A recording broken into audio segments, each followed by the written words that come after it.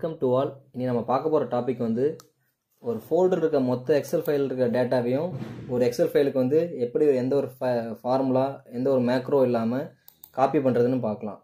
அது காப்பி பண்ணுறது பார்க்குறது முன்னாடி எந்த மாதிரி டேட்டாவை எப்படி காப்பி பண்ணலாம்னு நாங்கள் காட்டிடுறோம் ஃபஸ்ட்டு என்கிட்ட ஒரு ஃபோல்டரில் வந்து மூணு ஃபைல் இருக்குது இது வந்து ஏ செக்ஷனோடது பி செக்ஷன் சி செக்ஷன் மூணு செக்ஷனோட ஸ்டூடெண்ட்ஸோட மார்க்ஸ் இருக்குது ஏ செக்ஷன் இது பி இது சி ஒவ்வொரு செக்ஷன்லேயும் இருபது ஸ்டூடெண்ட்ஸோட மார்க்ஸ் இருக்குது இது வந்து எனக்கு வந்து ஒரே ஃபைலில் மெர்ஜ் ஆகணும்.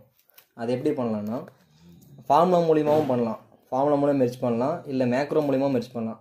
அதெல்லாம் பிக்னஸ் தெரியாதவங்களுக்கு இது வந்து ஈஸியான ஒரு மெத்தடாக இருக்கும். இது எப்படி பார்க்கலாம்? பார்க்கறதுக்கு முன்னாடி இதுக்கு நம்ம வந்து ஒரு ஆடின் தேவைப்படுது. அந்த ஆடினை வந்து நீங்கள் நெட்லேருந்து டவுன்லோட் பண்ணிக்கலாம். கூகுளில் போயிட்டு ஆர்டிபி ஆடின் எக்ஸல் டவுன்லோடுன்னு கொடுத்து சர்ச் பண்ணுங்கள் சர்ச் பண்ணதும் வர ஃபஸ்ட்டு லிங்க்கில்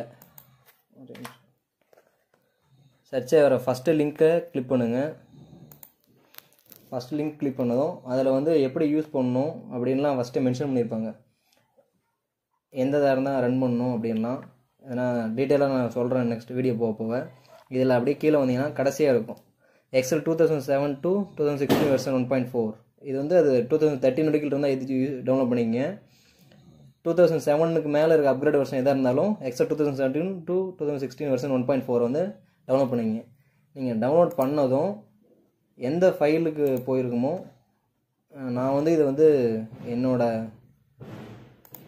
டவுன்லோட்ஸ் ஃபோல்டர் வச்சுருக்கேன். இப்போ நீங்கள் எங்கள் என்னோடய டவுன்லோட்ஸ் ஃபோல்டருக்கு நான் போகிறேன்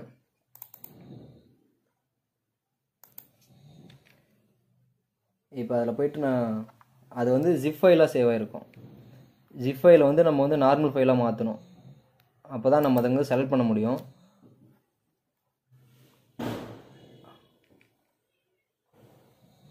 ஆர்டிவி மெர்ஜின்றதை வந்து நீங்கள் ஜிப் ஃபைலில் வந்து இது மாதிரி ஓப்ப இருக்கும். அதை நீங்கள் ஓப்பன் பண்ணிங்கன்னா ஒரு சில ஃபைலில் வந்து ஜிப் ஃபைலாக ஓப்பன் ஆகும். ஒரு சில வந்து டைரெக்டாக எக்ஸ்எல்எம்னு டவுன்லோட் ஆகிடும் இது ஜிப் ஃபைலாக இருந்தால் நீங்கள் ஓப்பன் பண்ணிவிட்டு அதை வந்து நீங்கள் காப்பி பண்ணி தனி இங்கே எக்ஸ்எல்எம்னு ஒரு ஃபைலை போட்டு வச்சுக்கிங்க. போட்டு வச்சிங்கன்னா தான் நீங்கள் அந்த இடத்துல ஓப்பன் பண்ண முடியும். நெக்ஸ்ட் இது மாதிரி டவுன்லோட் பண்ணி முடித்ததும் நீங்கள் எக்ஸல் ஃபைல் ஏதோ ஒரு ஃபைல் போயிட்டு ஃபைல் போங்க. ஃபைல் ஆப்ஷன் கொடுத்ததும் கீழே வந்து ஆப்ஷன்ஸ்னு ஒரு ஆப்ஷன் இருக்கும். அதை கிளிக் பண்ணுங்கள் ஆப்ஷன்ஸ் ஆப்ஷன் ஓப்பன் ஆனதும் அதுலேருந்து நமக்கு வந்து ஆடின்னு ஒரு ஆப்ஷன் இருக்கும். இங்கே லாஸ்ட்லேருந்து செகண்டாக வந்து ஆடின்ஸ்னு ஒரு ஆப்ஷன் இருக்கும்.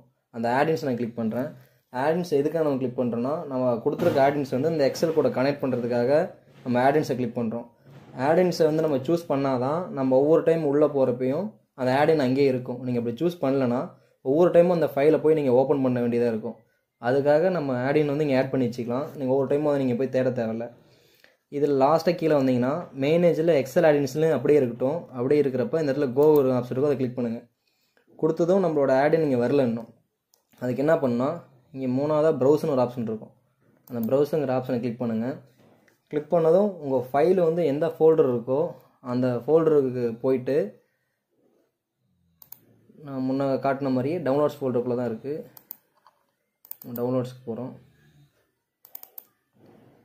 நம்ம எக்ஸ்எம்எல் ஃபைல் அது ஒன்று தான் இருக்குது அந்த ஃபைலில் அதனால் அது மட்டும் கொடுத்துட்டு ஓகே கொடுக்குறோம். ஓகே கொடுத்ததும் அந்த டிக்கிங் இதில் வந்துடும் டிக்கிங் வந்த பிறகு நான் ஓகே கொடுக்குறேன். ஓகே கொடுத்ததும் பார்த்தீங்கன்னா இப்போ வந்து அந்த எக்ஸ்எல்எம் வந்துருச்சு. வந்துருச்சாலும் எப்படி செக் பண்ணுறதுன்னா நீங்கள் டேட்டா டேபுக்குள்ளே போனீங்கன்னா இந்த இடத்துல ஆர்டிபி மெர்ஜ் ஆடின்னு ஒரு மெர்ஜ் ஆடுன்னு வந்திருக்கும். இதுக்கப்புறம் தான் நம்ம இப்போ வந்து எப்படி பண்ணுறதுன்னு பார்க்கலாம். இப்போ நம்ம அந்த ஃபைல்லாம் இருக்குதுல்ல அந்த ஃபைல்லாம் அப்படியே வச்சுட்டு ஆர்டிபி மெர்ஜுங்கிறத நான் கிளிக் பண்ணுறேன் கிளிக் பண்ணதும் ஒரு இது ஓப்பன் ஆகும். டயலாக் பாக்ஸ் மாதிரி ஓப்பன் ஆகும். இந்த பாக்ஸுக்குள்ளே ஃபஸ்ட்டு வந்து ஒரு ஆப்ஷன் வரும். ஃபோல்டர் லொக்கேஷன்னு இதில் வந்து ப்ரௌஸ் பண்ணுறேன் ப்ரௌஸுங்கிறத கிளிக் பண்ணுங்கள் ப்ரௌஸ் பண்ணால் எந்த ஃபோல்டருங்கிறத வந்து உங்களுக்கு எதை காப்பி பண்ணணும். அப்படின்னு. நான் வந்து டெஸ்க்டாப்பில்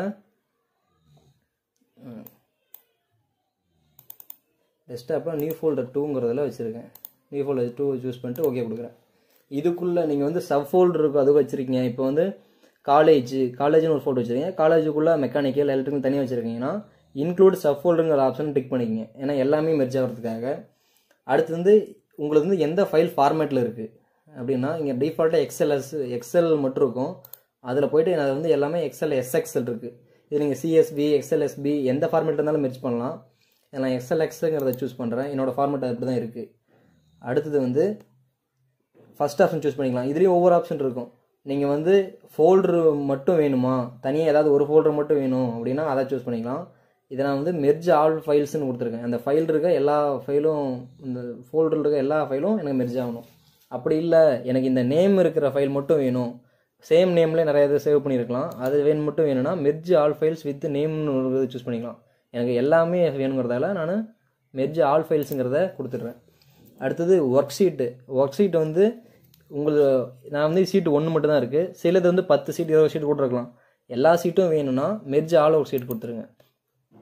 அப்படி இல்லை ஏதாச்சும் பர்டிகுலர் ஒரு சீட்டு மட்டும் வேணும்னா எல்லா சீட்லேயும் அது அந்த சீட்டை மட்டும் இங்கே மென்ஷன் பண்ணிங்க. இல்லை சீட் நேம் மட்டும் வேணும்னா சீட் நேமும் மென்ஷன் பண்ணிக்கலாம்.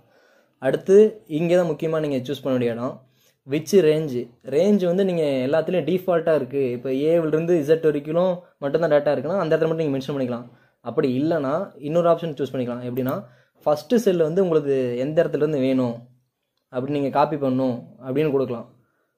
ஃபஸ்ட்டு செல் வந்து ஏ ஒன்லேருந்து தான் எனக்கு வேணும் அப்படின்னு சொல்லிட்டு கீழே வந்து இந்த ஃபைல் இருக்கிறத வந்து அது டிக் பண்ணி தான் டிஃபால்ட்டாக விட்டுருங்க. நீங்கள் பாஸ்வேர்டு இது இந்த ஃபைலுக்கு போட்டிருக்கணும் அப்படின்னா நீங்கள் இங்கேயே மென்ஷன் பண்ணிக்கலாம். பாஸ்வேர்டு போட்டுருக்கணும் அப்படின்ட்டு ஓப்பன் பண்ணுறதுக்கு ஒரு பாஸ்வேர்டு மாடிஃபை பண்ணுறதுக்கு ஒரு பாஸ்வேர்டு கொடுத்துக்கலாம். அப்படி கொடுக்கலனா இதை மட்டும் சூஸ் பண்ணிவிட்டு நான் இப்போ வந்து ஸ்டார்ட் கொடுக்குறேன். மெர்ஜு கொடுக்குறேன். மெர்ஜு கொடுத்ததும் அந்த ஃபைல் எல்லாம் மெர்ஜாக ஸ்டார்ட் ஆகும். எல்லா ஃபைலும் நம்ம ஓப்பன் பண்ணியிருக்கிறதால அதை ஓப்பனில் இருக்குன்னு சொல்லுது. நான் ஒன்றும் ப்ராப்ளம்னு கொடுத்துறதால இப்போ அது மெர்ஜ் ஆகுது. நான் மூணு ஃபைலுமே ஓப்பன் பண்ணியிருக்கேன். அதனால் மூணுக்கும் கேட்கும். இப்போ வந்து நம்மளுக்கு வந்து மிர்ஜாய் முடிச்சிருச்சு. நம்ம மிர்ஜாய் முடிச்சது கரெக்டாக தான் இருக்கான்னு செக் பண்ணுறதுக்கு அது ஓப்பன் ஆகும் அதுவே. ரிப்போர்ட் வந்து ஆயிடுச்சின்னு வந்திருக்கு. இப்போ வந்து நம்மளுக்கு வந்து இந்த ஃபைல் வந்து ரெடி ஆயிடுச்சு. இங்கே பக்கத்தில் வந்து எந்த ஃபோல்டர்லேருந்து நம்மளுக்கு காப்பியாக இருக்குதுன்னு வந்துடும் ஷீட் நம்பர் இங்கே வந்துடும் அதுக்கப்புறம் நம்மளோட டேட்டாஸ்லாம் இங்கே வந்திருக்கு. இதுக்கு பக்கத்துலேயே நமக்கு வந்து ஷீட் லாக்னு ஒரு ஷீட் வரும். அதில் வந்து எந்த டைமுக்கு எந்த சீட்லேருந்து எதுலேருந்து எது காப்பி ஆயிருக்கு? காப்பி வந்து சக்ஸஸ் ஆயிடுச்சா? அப்படின்னு வந்துடும் இது வந்து டிஃபால்ட்டு ஃபைலுக்கு நம்ம ஓப்பன் பண்ணியிருந்தாலும் ஓப்பன் ஆனது அதனால் எரர் ஆயிருக்கு. மற்ற மூணு ஃபைல் தான் நமக்கு அந்த மூணு ஃபைலும் காப்பி ஆயிடுச்சு. எதுலேருந்து எது காப்பி ஆச்சு அந்த சீட்டுக்கு அடுத்து நம்ம கீழே டுவெண்ட்டி டூ தான் அது வரைக்கும் இருக்கும். அந்த டுவெண்ட்டி த்ரீலேருந்து காப்பி இருக்குது இது டுவெண்ட்டி த்ரீலேருந்து ஃபார்ட்டி ஃபைவ் காப்பி இருக்குன்னு மென்ஷன் ஆயிருக்கு. இப்போ நம்ம கம்மி ஷீட்டுக்கு போகிறோம் இந்த இது நமக்கு தேவையில்லை. இதை நம்ம டெல் பண்ணிடுறோம். டெல் பண்ணிட்டு இப்போ நம்ம பார்க்குறோம் சீட் ஒன்று சீட் ஒன் நேம் தேவையில்ல டெல் பண்ணுறோம் இப்போ நான் பார்க்குறேன் செக்ஷன் ஏவோட டுவெண்ட்டி ஸ்டூடெண்டோட மார்க் வந்துருச்சு. அப்படியே கீழே வந்தீங்கன்னா செக்ஷன் பியோட ஸ்டூடெண்ட்ஸோட மார்க் லிஸ்ட் இருக்குது அடுத்து செக்ஷன் சியோட ஸ்டூடெண்ட் மார்க் லிஸ்ட் இருக்குது இது மாதிரி நீங்கள் இது மூணு ஃபைல் மட்டும் இல்லாமல் நீங்கள் தௌசண்ட் ஃபைல்ஸ் கூட அந்த ஃபோட்டோவில் வச்சுருந்துட்டு ஒரே சீட்டில் வந்து ஈஸியாக வந்து காப்பி பண்ணி மெர்ஜ் பண்ணிக்கலாம். இது மாதிரி வீடியோஸ் ஒன்று தேவைப்பட்டதுன்னா கமெண்ட்டில் மென்ஷன் பண்ணுங்கள் இந்த வீடியோ பிடிச்சிருந்தா லைக் பண்ணுங்கள் கமெண்ட் பண்ணுங்கள் எக்ஸல் வழிகாட்டுக்கு சப்ஸ்கிரைப் பண்ணுங்கள் தேங்க்யூ